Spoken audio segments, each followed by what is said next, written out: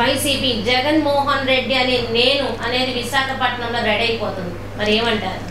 నాలుగో తారీఖున Telugu Desam party tsunami tsunami సృష్టిస్తుంది. జీ గత గత ఎలక్షన్లు ఎప్పుడు లేనిది సునామీలు ఈసారి వస్తుందమ్మా.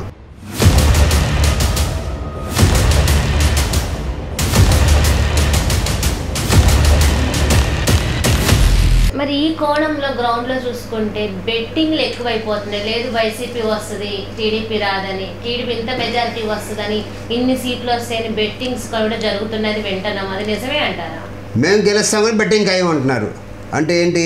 వాళ్ళు ఓడిపోతాను భయమే కదా. నా దగ్గర ప్రూఫ్లు ఉన్నాయి.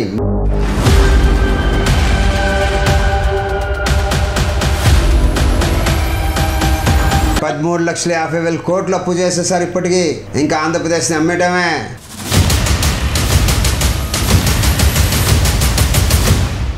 అదే మాట టీడీపీ కూడా రేపు అధికారంలోకి వచ్చినాకే సీఎం అనాలి కదా. మనం ముందెందుకు అనుకోవడానికి నేను అంటున్నా. మేము చెప్పేసి ఆల్రెడీ మొత్తం అనాలిసిస్ జనాలు వెళ్ళి మాట్లాడుతున్నాం. ఖచ్చితంగా వన్ సైడ్ ఓటింగ్ ఇది.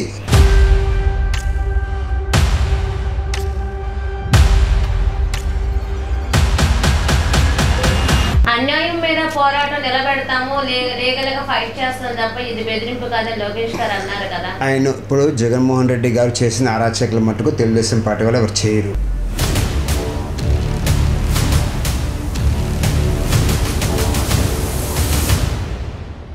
మరి జగన్మోహన్ రెడ్డి పథకాలు ఇస్తేనే మరి చూసుకుంటే మీరు పదమూడున్నర లక్షల కోట్లు అంటున్నారు.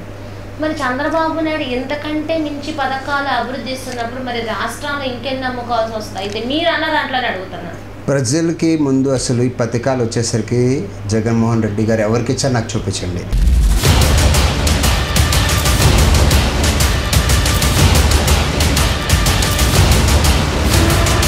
అంటే వీటన్నిటికి ఏం చూసుకున్నా సరే కూటమి రావాలి అండి. ప్రమాణ స్వీకారం ఆలస్యం మాది నాలుగో తారీఖు. సునామీ సృష్టిస్తున్నాము.